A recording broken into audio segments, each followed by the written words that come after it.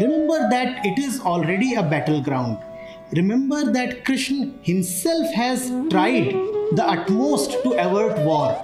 He himself had gone as a messenger to the court of Duryodhan and tried his best. Now all that is behind. Before war, the right action is please try to prevent war. War means a lot of suffering. On the battlefield, now you cannot act like a peacenik. Now you have to be an eagle, not a dove. Now you must fight. A thousand times did I, my Guru, ask, What is the name of the one who can't be named? And asking again and again, I tired myself out. How has something come out of nothing?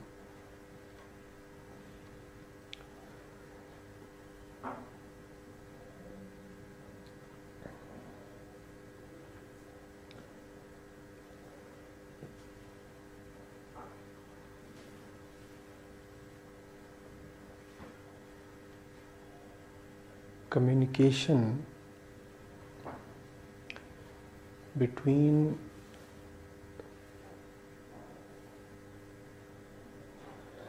the knower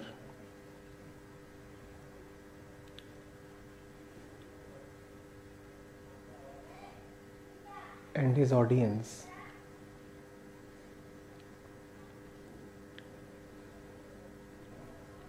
is always a little difficult.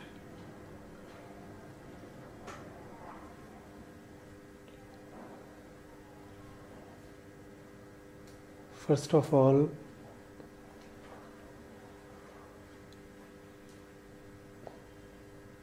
the knower,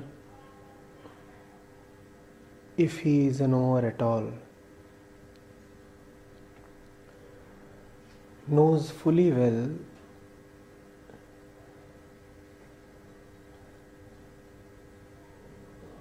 that he cannot communicate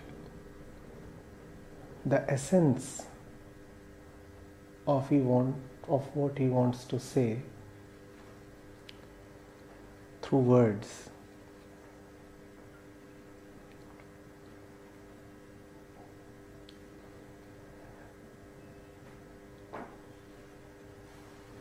So he has no great interest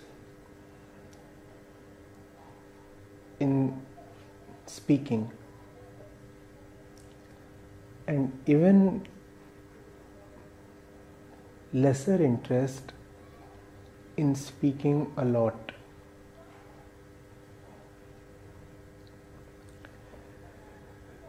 He knows well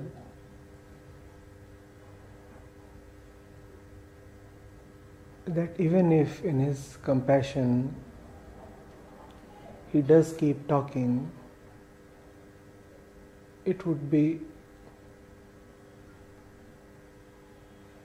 like circling around the center,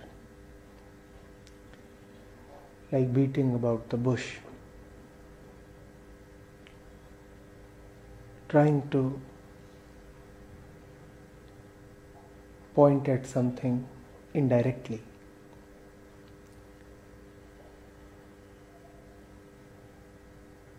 His trust in words is long gone.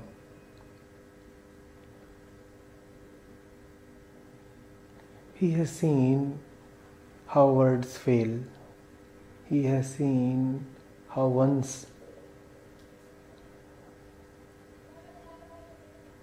he had prided himself on his dexterity with words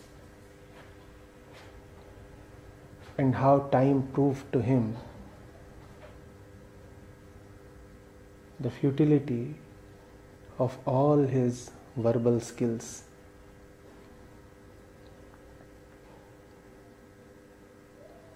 So he places no more emphasis on trusts. He knows on words. He knows that words are not really a reliable or an effective vehicle.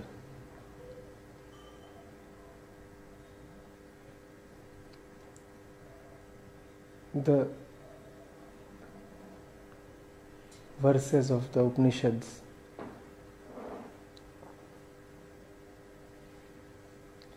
are so pithy.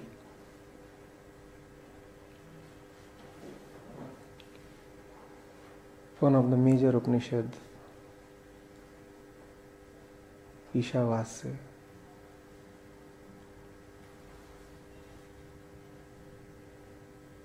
is hardly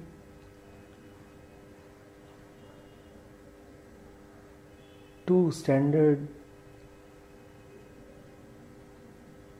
sides of printed pages. And if you look at the Brahma Sutras, sometimes there are three words, sometimes even just one.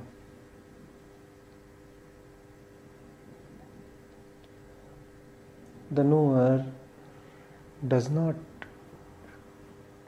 trust words, so is not greatly inclined to talk on the subject of truth. On other matters, if the situation so arises, and if he is in a mood. Maybe he can and he would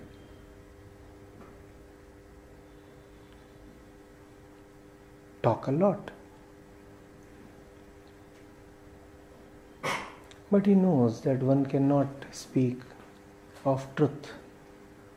One would just keep speaking about truth so he doesn't want. You look at Lalla's verses.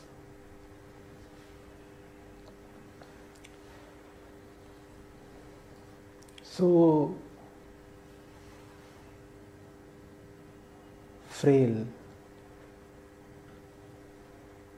like the ascetic, so unpretentious, like the monk so naked, like Lalla herself. Such sparse use of language.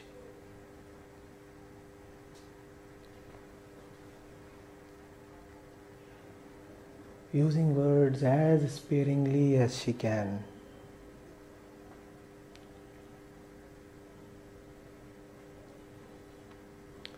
The second reason why communication is difficult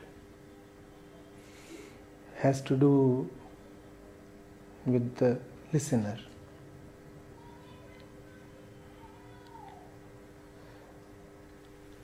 The listener always lives with pre assigned meanings to words. Every word is a certain image and the image belongs to the world of the listener. So, whatever would be said to you, you would convert it to an image, an image of your old pre existing world. which means that the new cannot be communicated through words. Even if the new comes through words, you will decipher it as something old.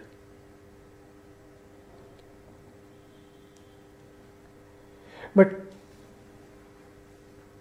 in spite of these two seemingly insurmountable obstacles, words have been uttered.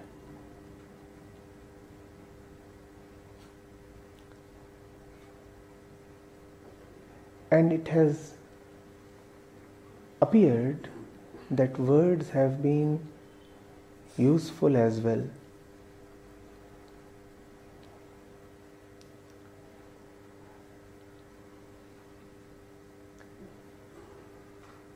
To those who feel this way,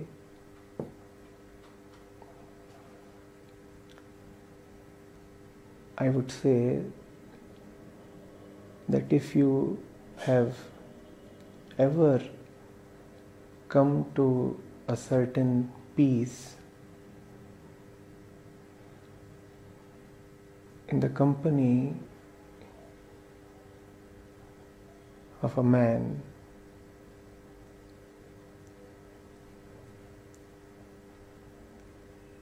sitting in front of a teacher, kindly do not think that it is due to the words of the teacher. It is only coincidental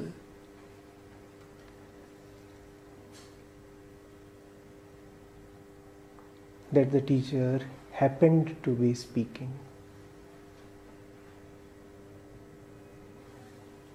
The peace was not due to the words.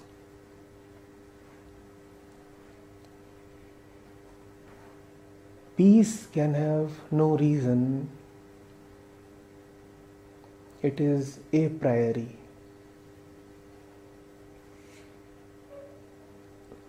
Whatever is really important and essential cannot come through something.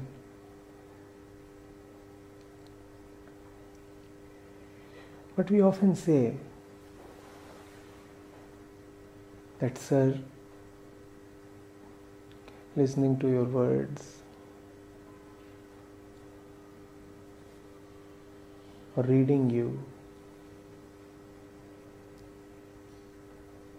brings me a certain calmness. You are mistaken.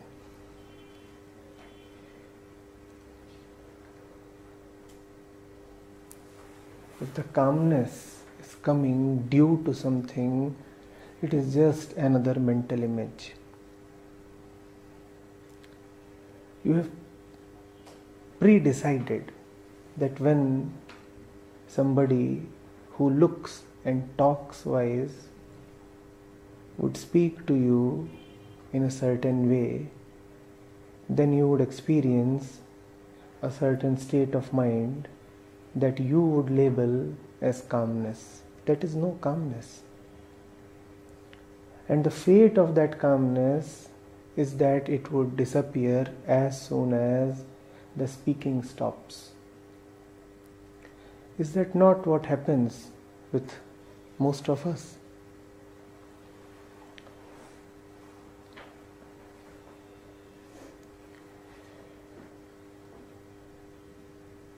So we say that we are experiencing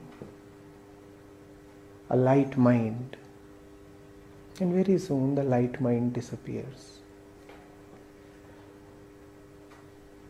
The claim that a lightness is being experienced right now goes hand in hand with the claim that words are the source of that lightness. It is already an arrogant claim it is already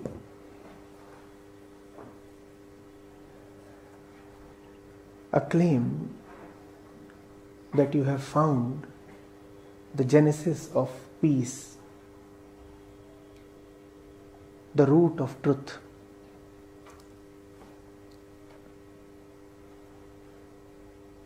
The reason of liberation.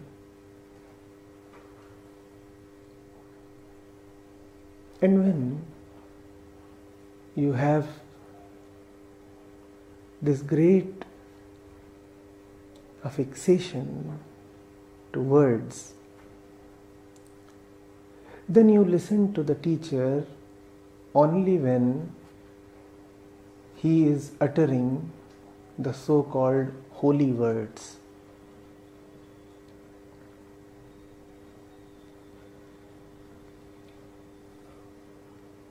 You may pay great attention when the teacher is in the teaching mode, the holy mode, and you would stop paying attention when the teacher is otherwise around you. You might be sitting, eating, walking with him in the normal course of life, but you would fail to accord him the attention, the respect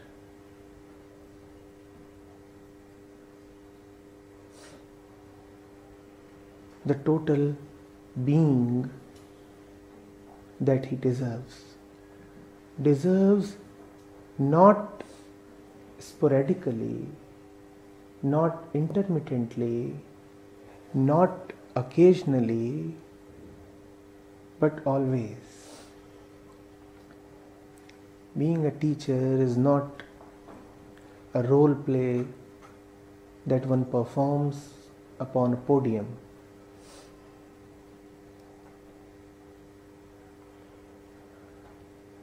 One is not a teacher only when he is on the stage and the lights are all set upon him.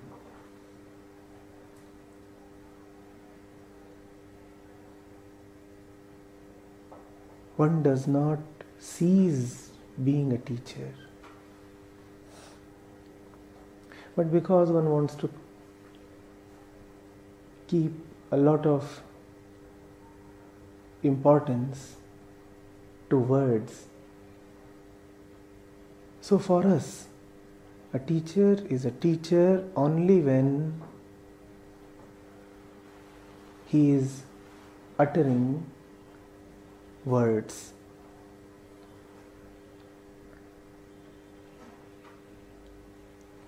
Yet, words have been spoken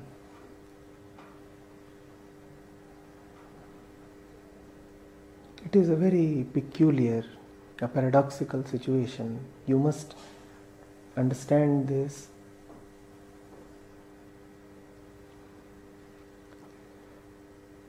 Words will have to be spoken because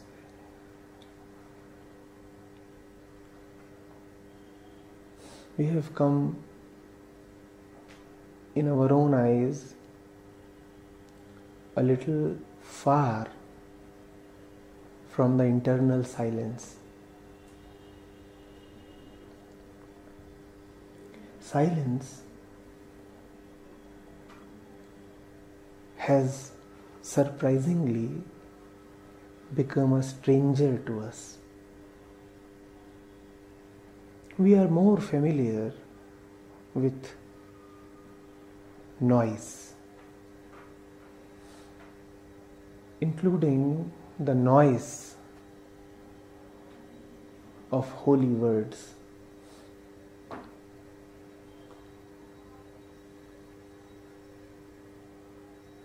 So, words will be needed because words is what we are. Words is what we have started thinking ourselves to be.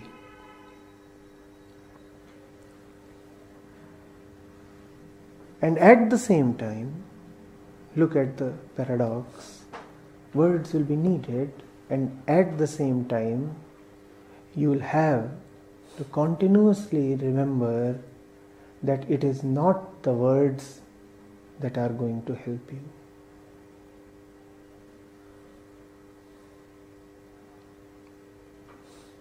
That whatever the teacher might be saying, he's saying it in full realization of it not being that which must be communicated. Words always miss the mark, they never hit the center.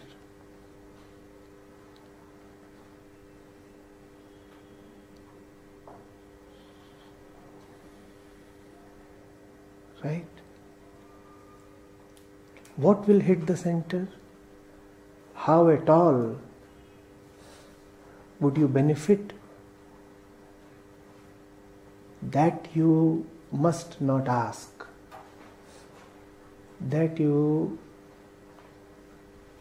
need not wonder about.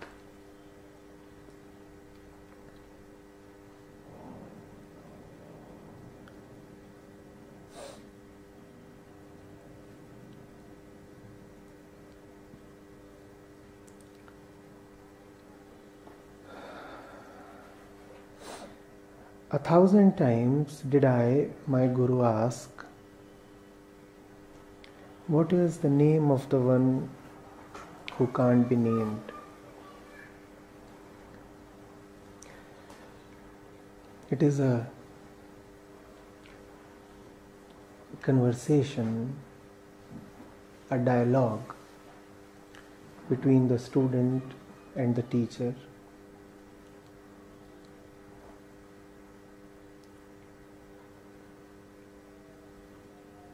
The student is Lalla, the mind, Lalla, the woman, Lalla, the name, the teacher is Lalla the formless.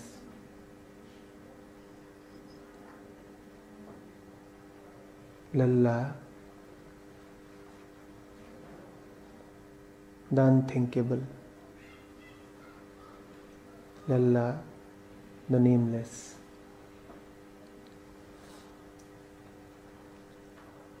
Lalla, the Atman. That is essentially what is happening. Lalla, the mind,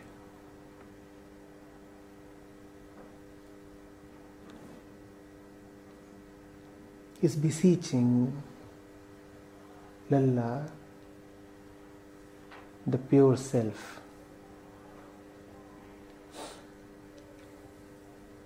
But of course, when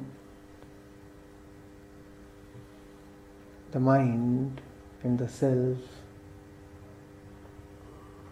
are in passionate loving conversation with each other.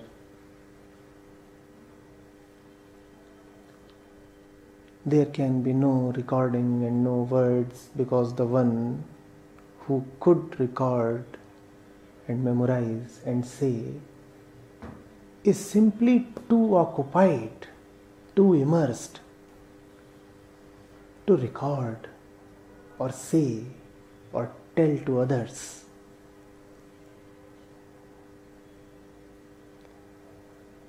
I am in a passionate embrace. I'm not going to remember to get a photograph clicked at this moment. That will make the whole thing so cheap.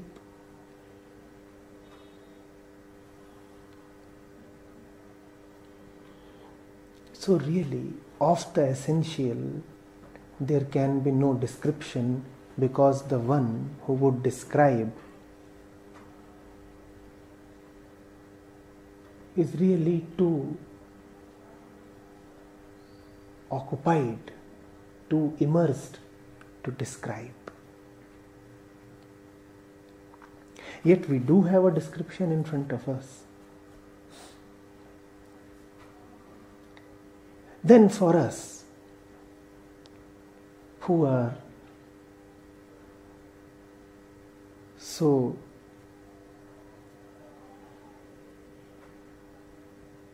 dumb,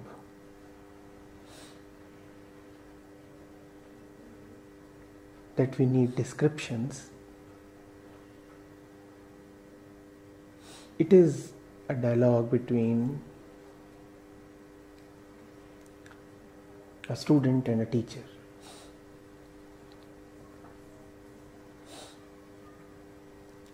Lalla, the young woman, and her guru. What is Lalla doing? What is the mind doing? She says, A thousand times I asked. A thousand times I asked. That is the only task of the student, of the mind. It is always asking, it is always pleading, it is always demanding an answer.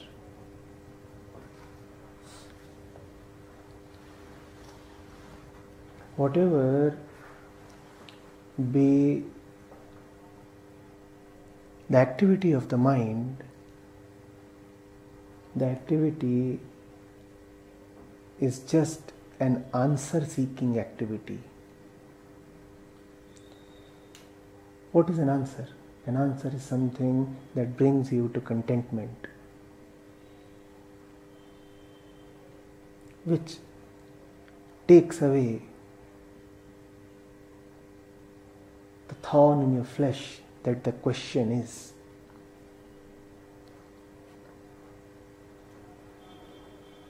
Asking a question is asking for peace.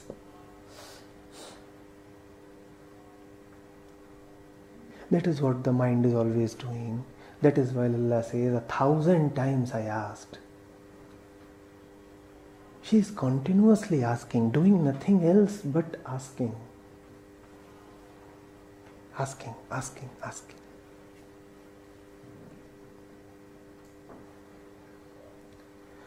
The only difference between the mind of a Lalla and the mind of the so called ordinary man is that Lalla knows whom to ask.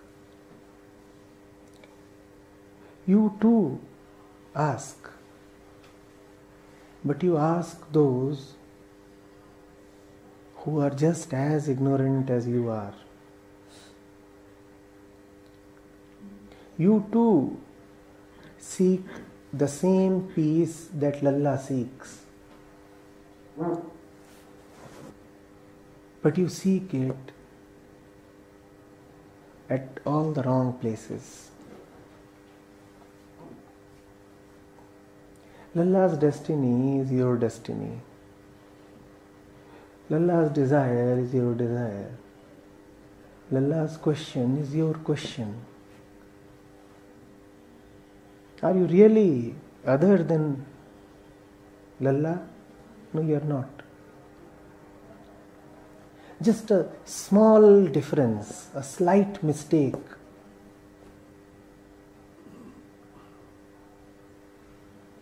But that small mistake creates all the difference in your life.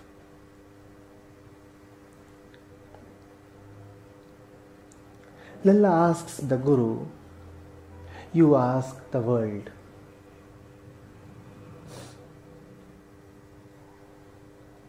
Lalla asks relentlessly, ceaselessly. You ask only when you experience pain.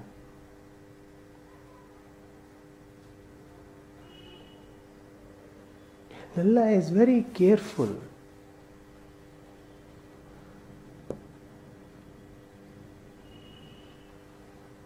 about not engaging with the false ones. And you are so obsessed with falseness.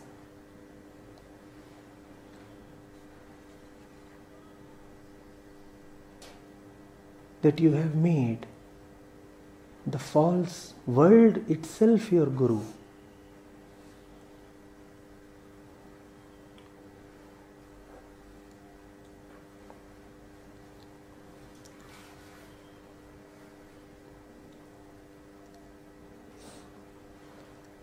Lalla got hurt. Lalla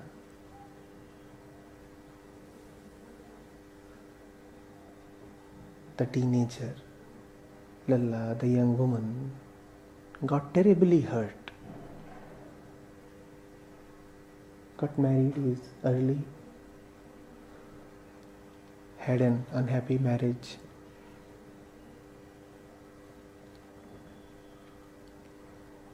The in laws had certain beliefs which they tried to impose upon her.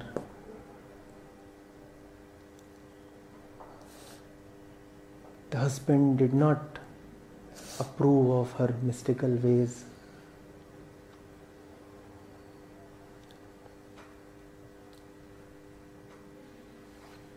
They wanted her to adjust, compromise, and become just like them.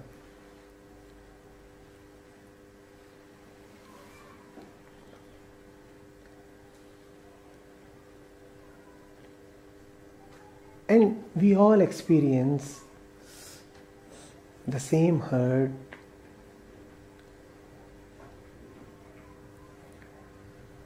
a similar situation, don't we?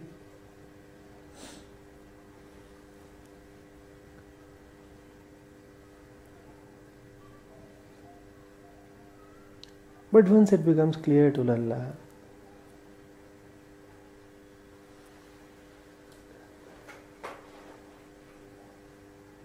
that she is at the wrong place, that she has made a mistake.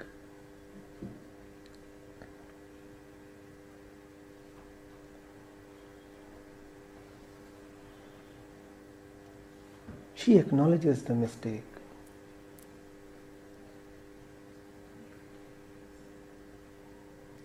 She may not be very sure about what she, is seeking but she is absolutely clear about what cannot be tolerated, what cannot be accepted. She leaves the family.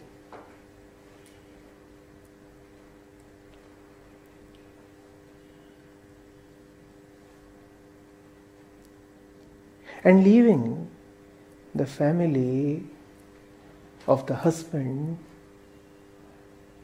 she does not go back to the family of her father.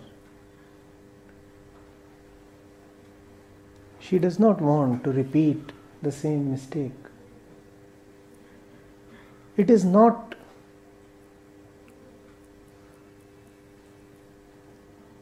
one home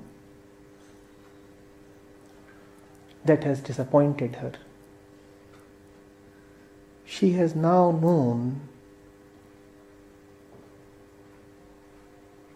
the nature of all homes. She cannot move from one home to another.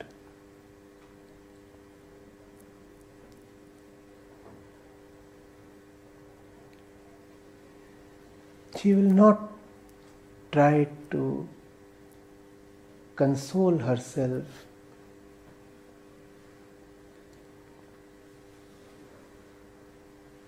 with superficial changes.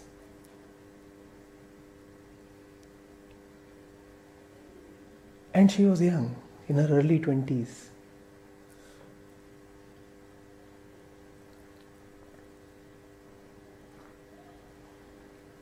A young woman in Kashmir Folklore says a beautiful woman at that. Leaving her in law's place and going to an ascetic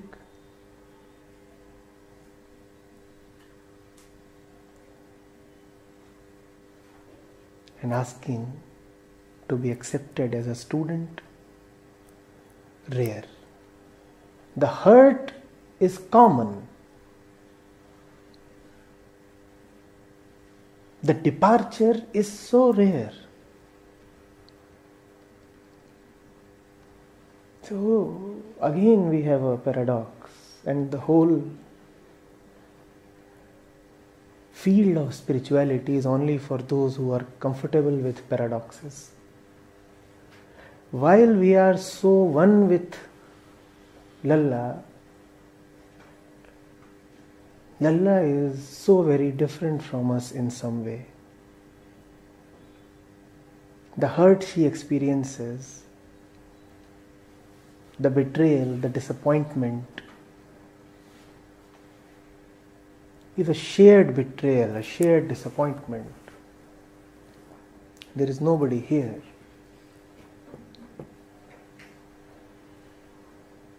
Whose wounds are any different from Lalla's wounds. But there is hardly anybody here who is determined to not to be wounded again.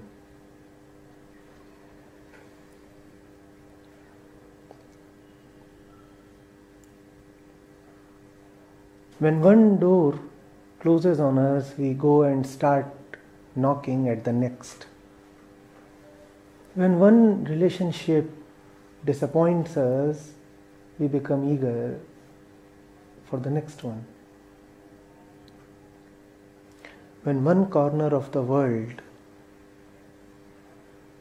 hurts us, we try to find solace in another corner.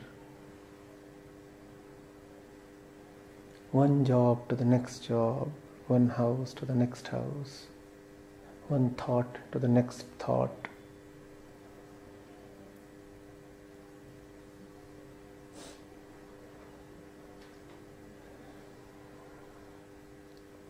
Lalla says no. There is a certain obstinacy about her.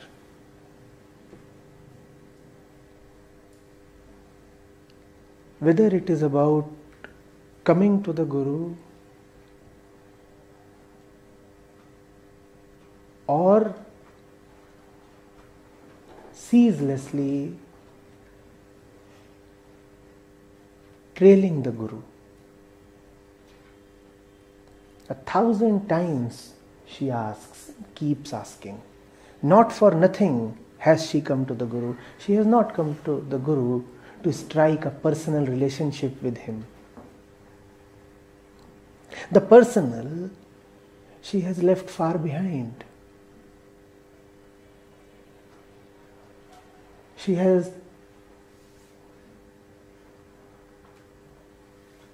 come to him as one in his thirst comes to the well. One does not stand and admire the well. One does not entertain himself with naming the well. One does not start painting and decorating the well. One straight away starts drinking. That is the purpose and the destiny of your thirst. To bring you to the well and then get dissolved in the well.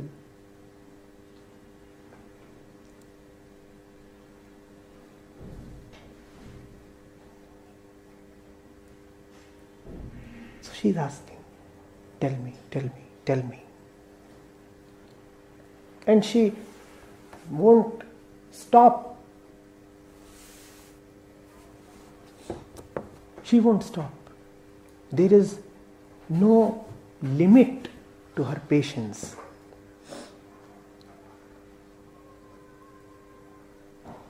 The question that she is asking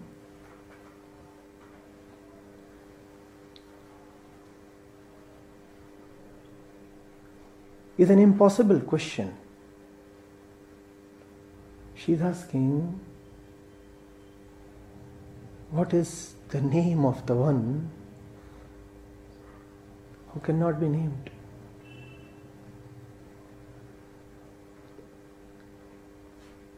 And the Guru loves it. Gurus are tired and bored of disciples who ask them questions that have an answer. When you are asking a question that can be answered, you are only making the Guru work needlessly.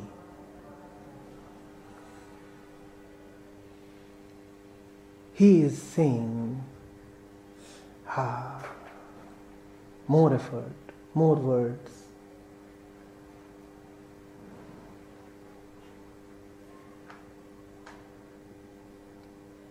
More shooting into the dark,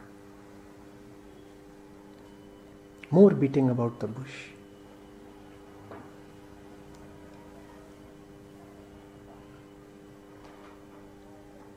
If you are ignorant, you would feel happy when the Guru gives you a reply.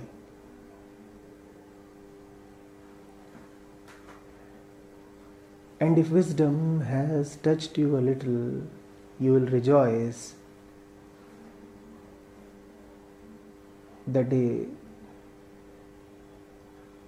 Guru gives you no answer.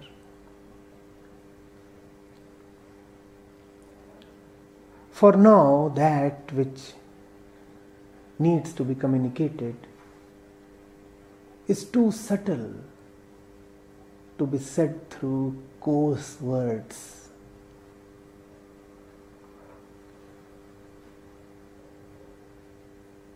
It is a very strange situation. Looks almost insane. The student is asking a question which cannot be answered. The Guru is obviously not answering. But the Guru at the same time is not barring her from asking either. Your common sense would say that if the question is so impossible, paradoxical, even nonsensical, then why does the Guru not simply send her away or close the matter with a terse reply? The Guru does not. He is celebrating. He is showering blessings upon the student.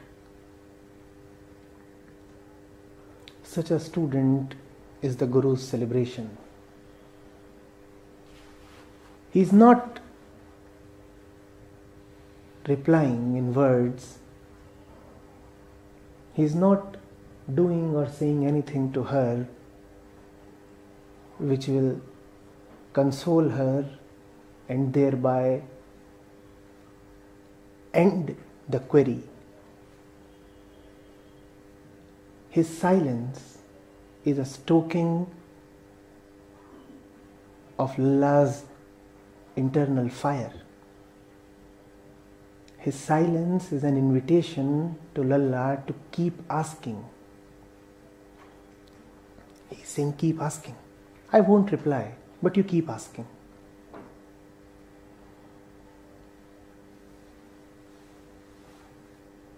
You would wonder if that is so, then why doesn't he say so much in words? He could have said Lalla. Of such questions, there are hardly any answers, but like a mantra, keep repeating the question. This is exactly why the Guru would not give such an advice. Because then Lalla's repeated questioning would become just the chanting of a stale mantra. When somebody like Lalla asks, Who am I? the question is arising from her very being. It has an authenticity about it. It is coming from her life. She really, really wants to know. But when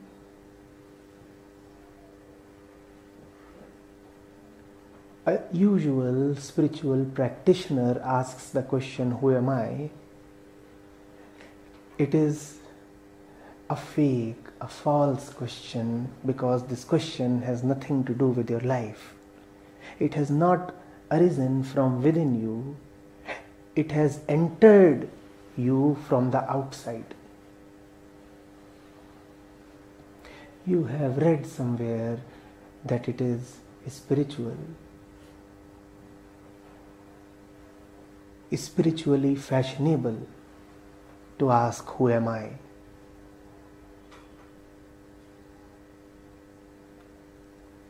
So you use that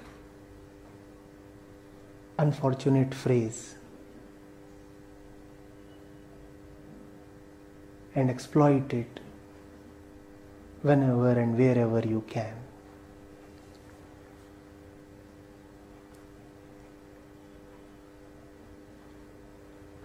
When Lalla asks, the question rings of genuineness.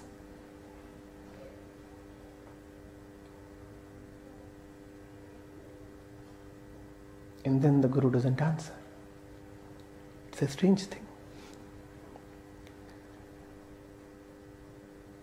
All the false questions, the Guru answers to all the fraudsters? The Guru replies. And to the one genuine disciple, the Guru does not even say yes or no. He may not even bother to smile. It may appear that he is totally ignoring the question and the questioner.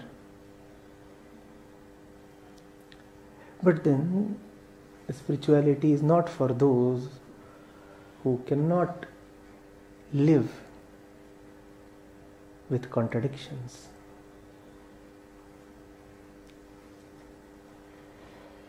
What you think of as absent is present. What you think of as real is so unreal. And if you insist on calling the real as real and unreal as unreal, then why waste your time in mysticism? Go and buy a new house, a new real house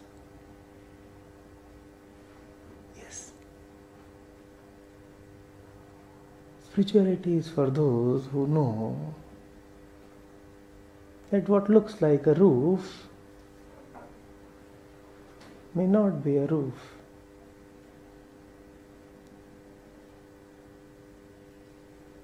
What is, is not. What is bad may be so good.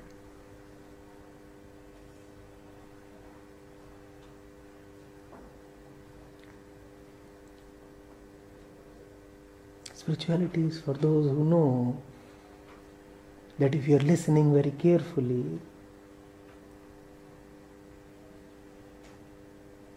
then you are so disrespectful.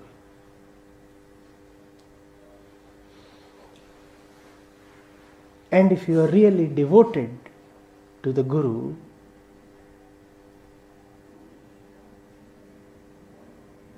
then the occasion of his speech would be no special occasion.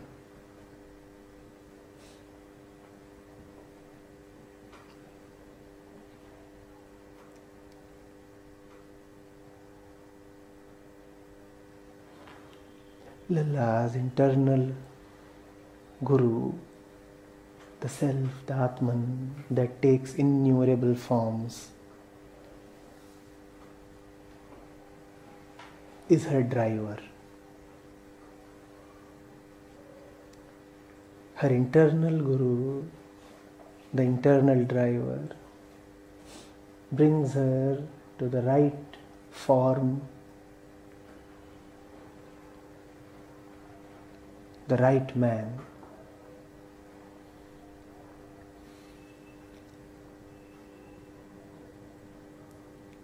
So we are entering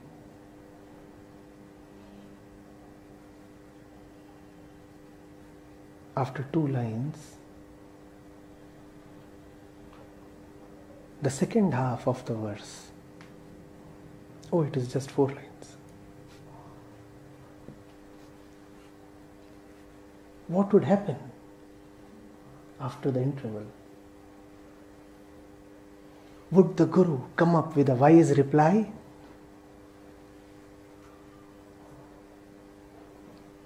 Would Lalla gain enlightenment? Would special knowledge, divine blessings come to her mind?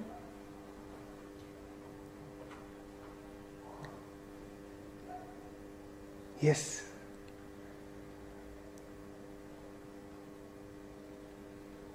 Oh, you are so knowledgeable. You have already read. That's what knowledge does to you. Now you cannot listen.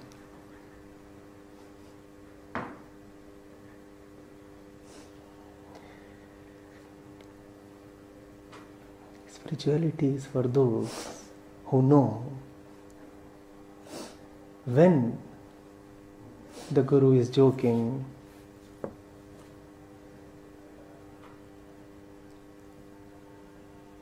when obeying his verbal command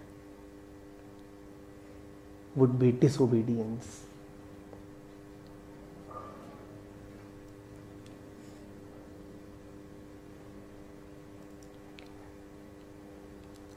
People come to me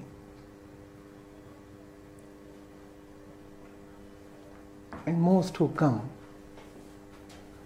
are so set in their particular ways of life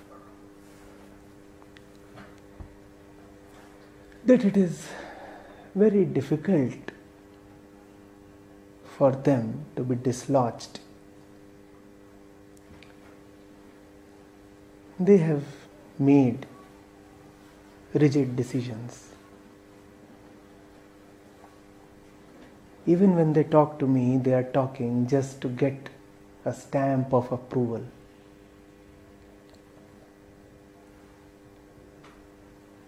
So they come, they narrate their stories, which allow me to take a little bit of sleep. And after 30 minutes of narration, when their stories end and I wake up, they ask for my advice. I say, do what you want to do. They say, no, this is what we have now thought of. What do you think of my plan? I say, wonderful. You surely deserve this plan. They do not even realize that the statement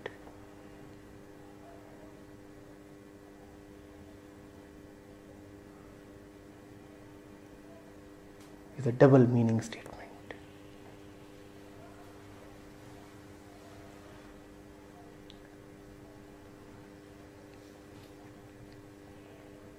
Yes, of course. Please proceed.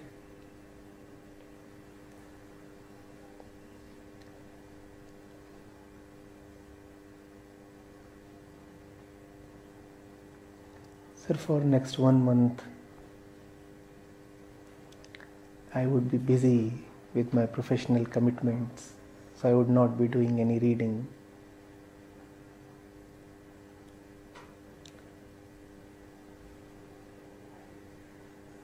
Wanted to take your blessings. Oh, of course. You are always blessed. Surely you must fulfill your commitments, professional ones. Go ahead. Now, this is dangerous.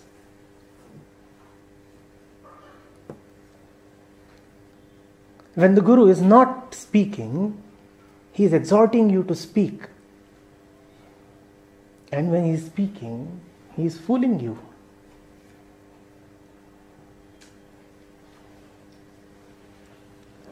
That is the most that the real Guru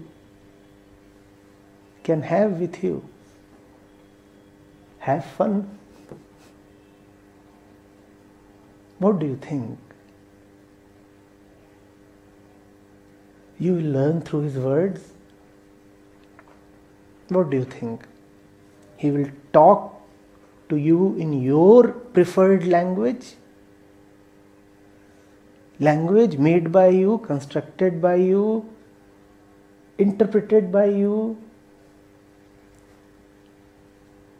In your language, he will only give you something that, well, you deserve.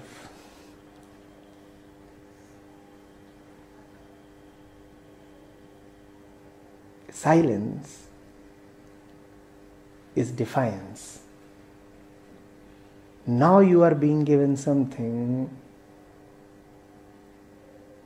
that you don't really deserve, that is beyond you.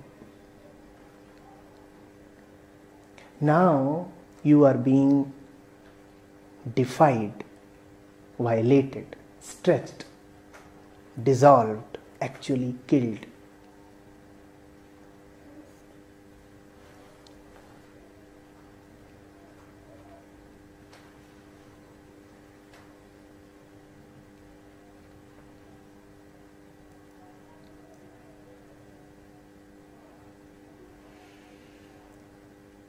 Intermission is over, the second half begins.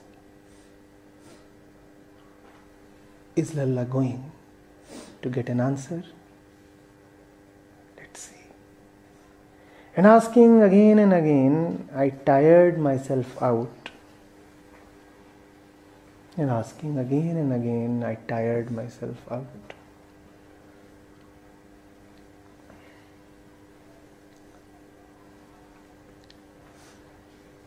That is what the real Guru does.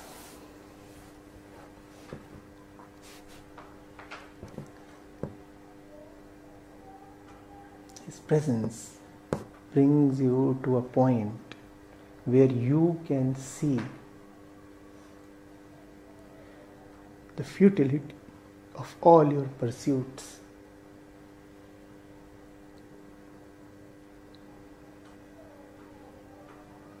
Spiritual attainment is nothing except this tiring out. You get so fatigued that you die.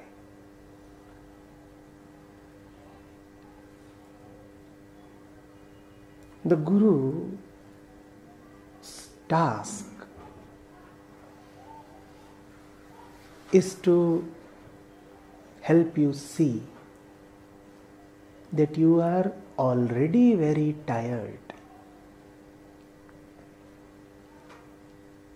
his job is to arouse that sensitivity within you which enables you to see that you are already ready. He gives you nothing. He does not mold you or prepare you or create you or bring you up. Because everybody, irrespective of where he or she is, irrespective of his age, experiences, position, and situation in life, is always ready. You are so tired. You are always at the climax of your effort and consequent suffering. Wherever you are, it is the climax.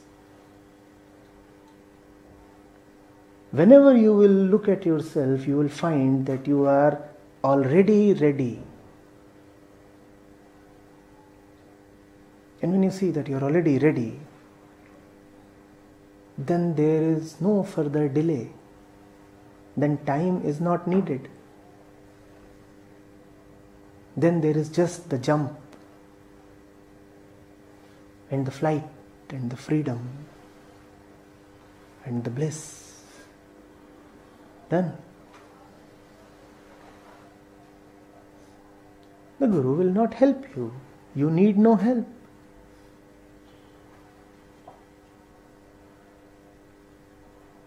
Nobody needs any help. All of us are exactly at the point at which the flight can begin. Nobody needs to be taken anywhere else. Nobody needs to undergo a transformation. Nobody needs to be given precious words of wisdom.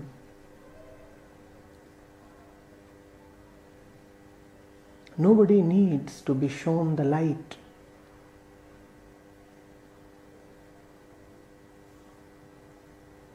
Wherever you are, you are crying for the same element that Lalla was crying for.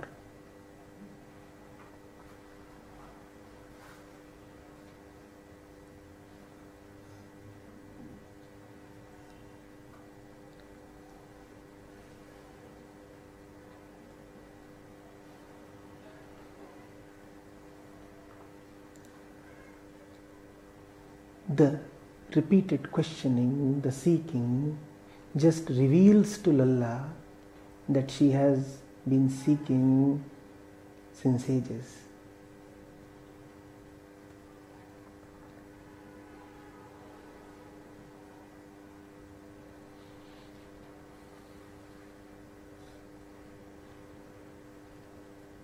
Is that not what you have always been doing? The Guru asks in his silence. Lalla, right now your question is so purely expressed. But even otherwise,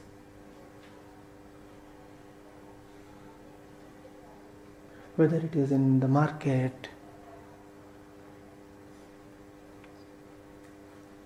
whether it is in the kitchen or on the roads,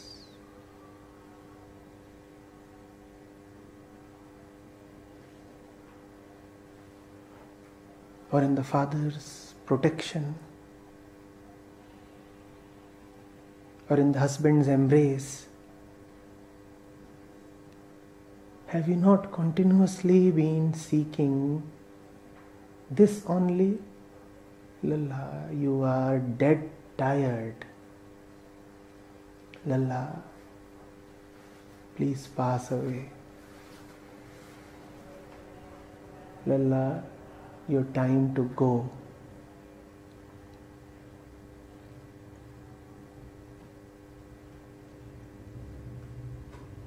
And the Guru says all of this without saying. And if the Guru is a real Guru, he would always be saying something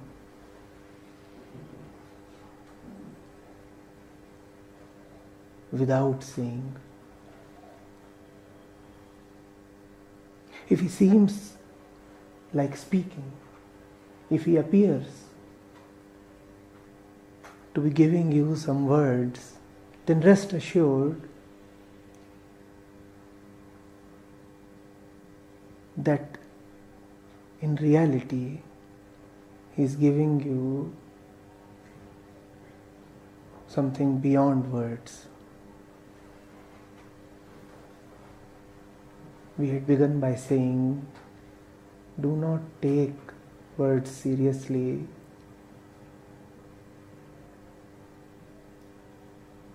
Even the words of the Guru. The words of the Guru will become a barrier between you and the Guru.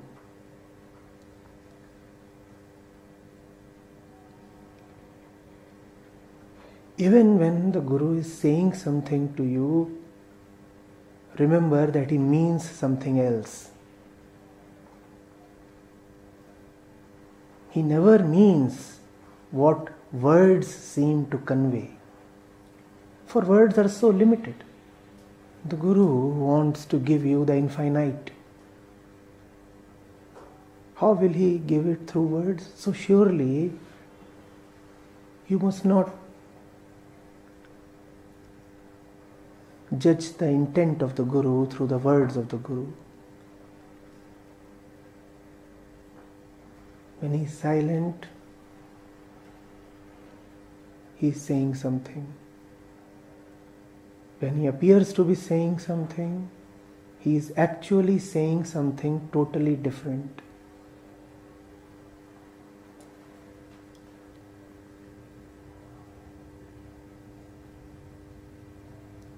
And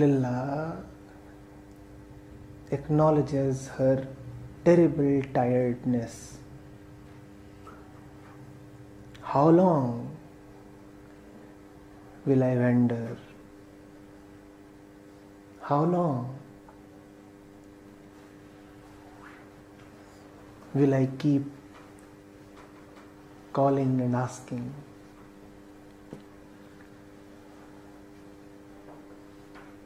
And Lalla stops. A total stopping, a complete cessation. But we had just said that spirituality is so very paradoxical. The Lalla who stops becomes a wandering mystic. The Lalla who was wandering was confined to a house, apparently not moving anywhere. And the Lalla who has really stopped is now moving about totally freely, free even of the last vestiges of social accompaniment. She gives up the clothes as well.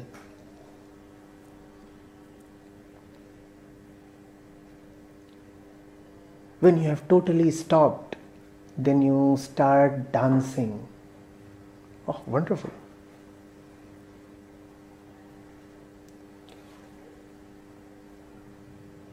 Just for the pleasure of hearing these words, my own personal pleasure, I would want to repeat them. When you have really stopped, you start dancing. So lovely, so beautiful, isn't it?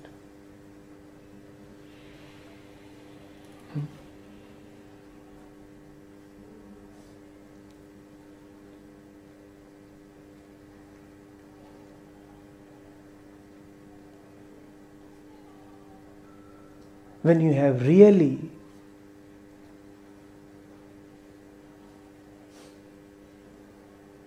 come under your own shelter, then you give up clothes.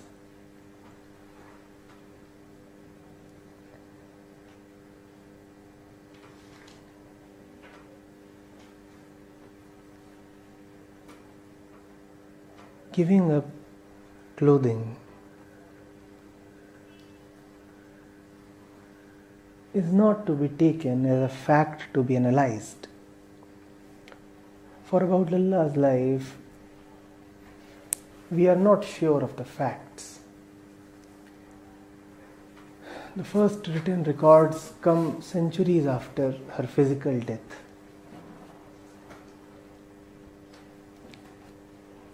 She may have given up clothes totally. She might have given up clothes on certain occasions.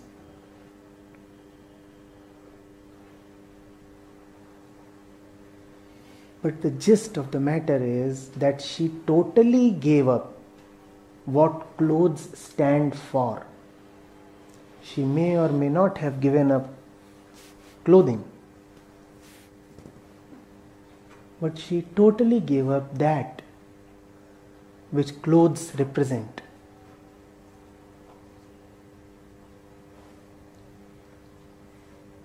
And when you give up that which clothes represent, not only do you give up the clothes that you wear upon yourself, you also give up all that you wear.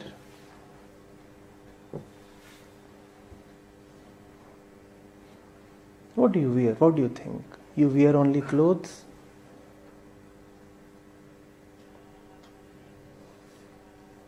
Even when you are clothless, are you ever naked?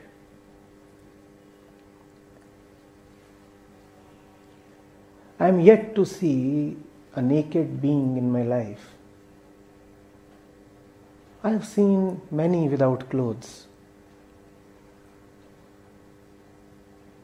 but I've never seen anybody naked.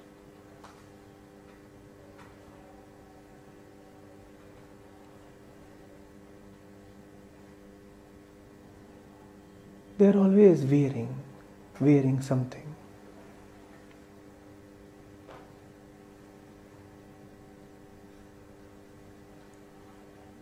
And if they are not wearing anything else, then they are wearing the body.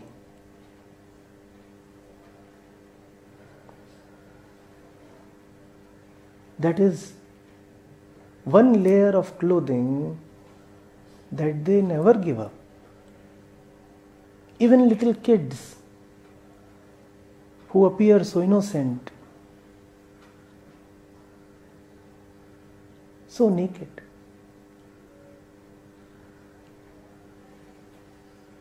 even they have the last layer of clothing upon themselves.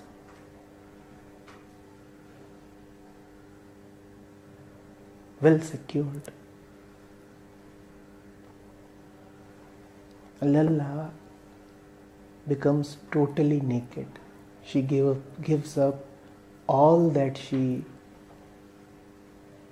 used to wear, that the common man wears. But because we are material obsessed beings,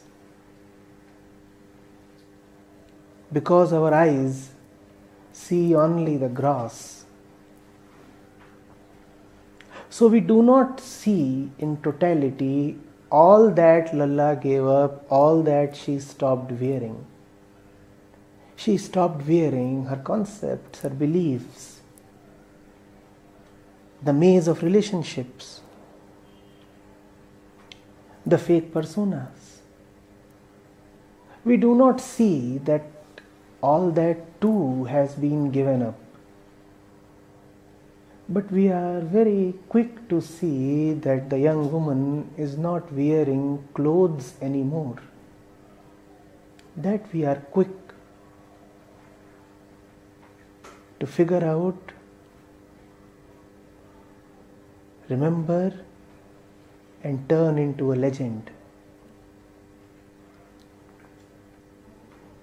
Do not remember Lalla as somebody who gave up clothes.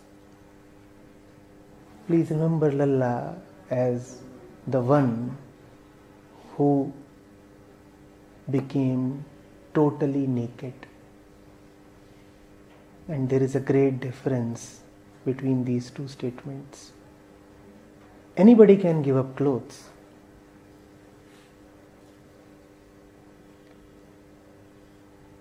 The sexually active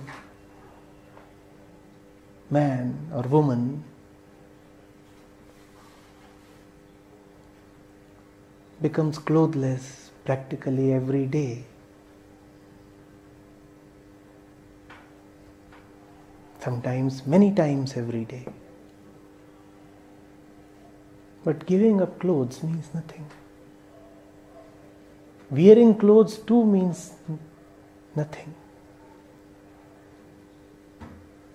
Becoming naked is something totally different.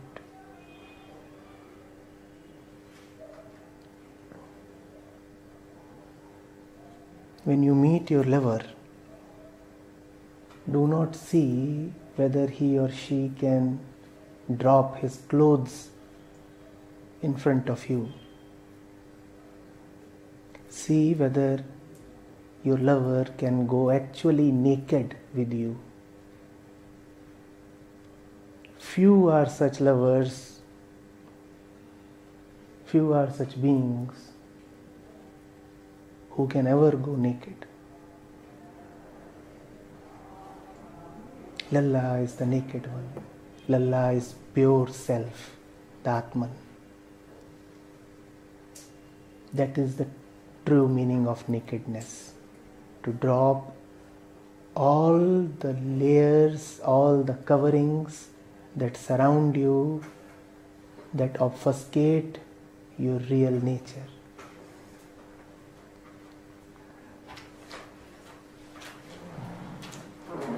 Getting it?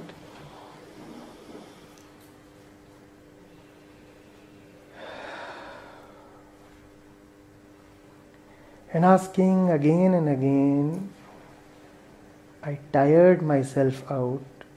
How has something come out of nothing?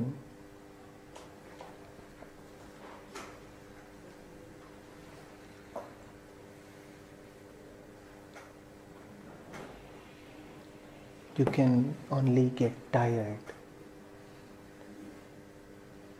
while seeking that which you really want.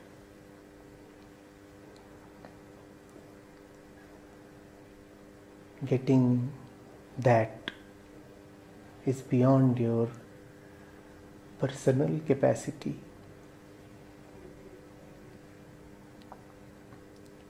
And when you are left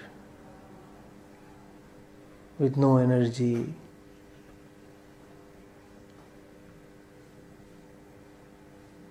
and you have drained out every bit of yourself in honest inquiry.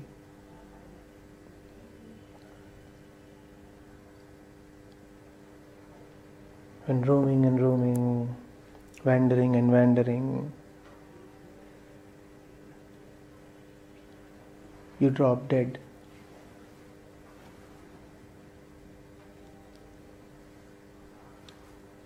That is when you are picked up. That is when that magic happens, which makes the dead one dance.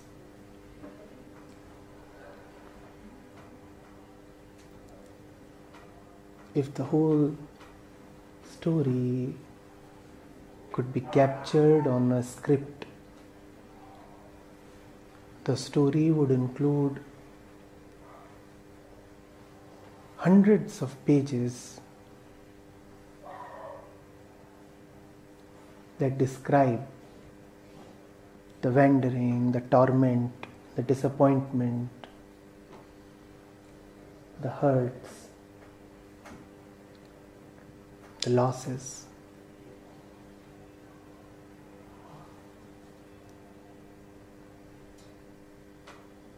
At the end of these pages would be total disappointment, total exhaustion,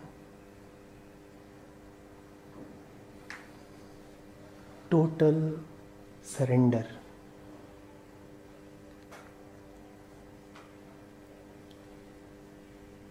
And at this point, the reader of these pages would feel as if the story has ended in defeat.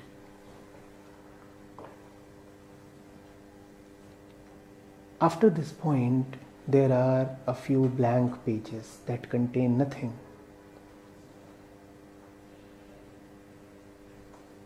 Something might have happened, but what happened is not there in the memory. The mind was not there to capture the happening. The mind remembers till the point Lalla drops down, and after that, the mind doesn't remember. All that the mind remembers is an absence of its normal states. So, even if it remembers, all it remembers is a blankness. That blankness is represented by the blank pages. So, page 1 to 100 vivid description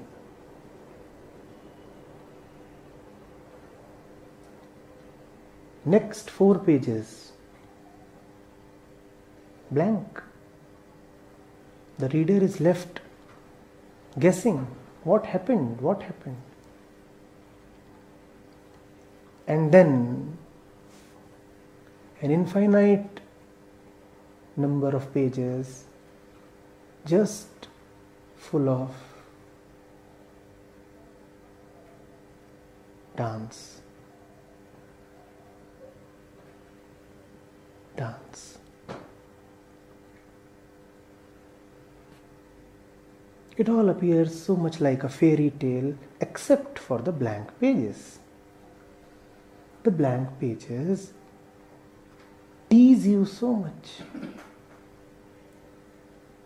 If only you could know what was it that happened if only you could know how the defeated one, the deflated one, the disappointed one suddenly came to life and came to immortal life and got so full of verve and energy that her life became a total dance, then you would like to emulate the whole process in your own life. But your wish cannot be granted. The blank pages will remain blank, and that is mysticism. That is life you will never know what happens. You will never know what touched Lalla and how.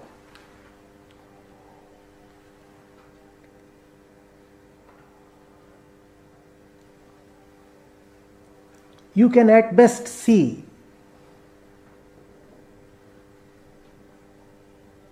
her relentless pursuit and then her delivered self. But what lies between the struggling ego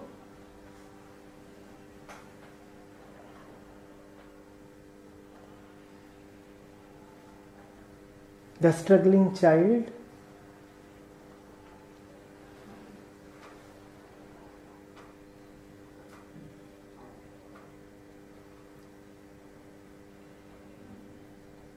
and the child happy, joyous, miraculously laughing, that you will never be able to know.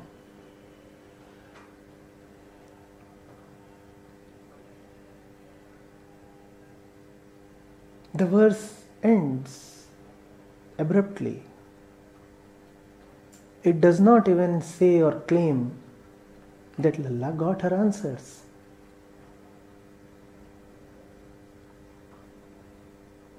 All it says is that the first part of the script of the story has ended. And that ending is sufficient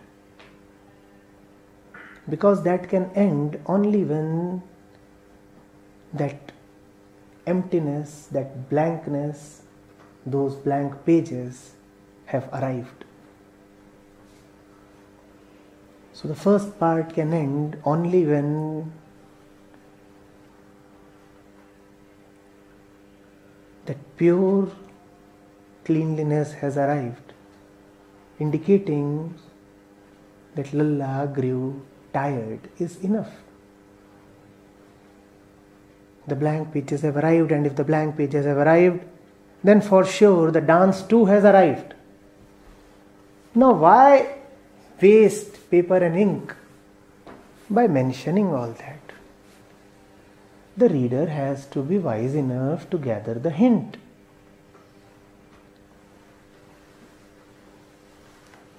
And that is the hint. Let the first part of the story end. That is all that you need, that is all that you can do. The blankness comes on its own, its own. And post the blankness, what happens just happens. It's a continuous celebration. But the first part must first end. You are trapped in the first part, dear ones. All of us are trapped in the first part of the story. We are not allowing it to end. Blankness scares us. We say, at least now the pages are getting filled. At least now there is a story. After this, there would be just empty sheets. And who knows how many empty sheets for how long? And there is no guarantee of the script that would be written after the empty sheets.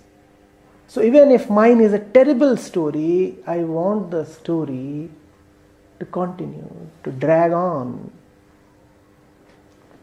Like somebody dragging his hurt and wounded feet and creating a messy, a terrible trail of stains, of blood marks. That is our story.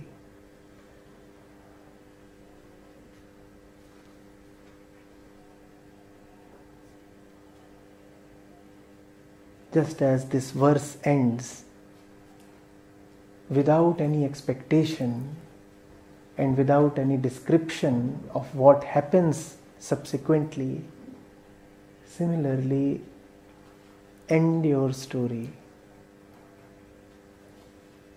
Do not see what this verse says, see what this verse does. That is the way to be with the Guru.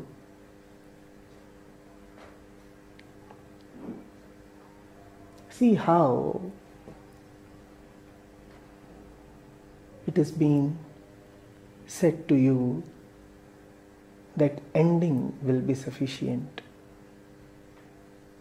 You do not need a new story. The new comes on its own. All you need is a termination of the old one.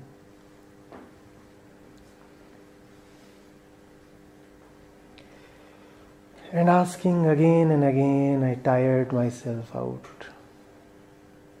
When will you tire out? When? When you are already so tired, aren't you?